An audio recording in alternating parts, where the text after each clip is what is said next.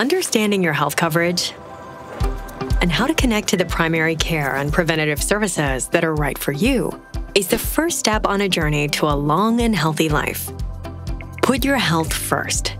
Living a healthy lifestyle and keeping up with checkups and screenings increases the chance you'll be there for your family and friends for many years to come. Check with your health plan to see what services are covered and learn more about costs like premiums, co-payments, and deductibles. Know the difference between primary care and emergency care and where to go for the care your family needs. Find a primary care provider who takes your coverage by checking with your health plan or asking someone you trust. Make an appointment. Give your health coverage plan information. Tell them the name of the provider you would like to see and be sure you are available. Be prepared for your appointment with your insurance card and a list of any current medications. Be ready to talk about any concerns and your health history.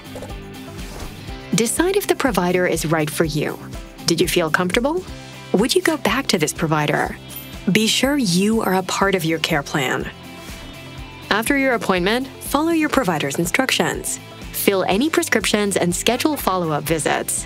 Make sure you understand your bill and reach out to your healthcare plan if you have any questions. For more information on how to follow your path to better health, visit go.cms.gov forward slash C2C and review the roadmap to better care.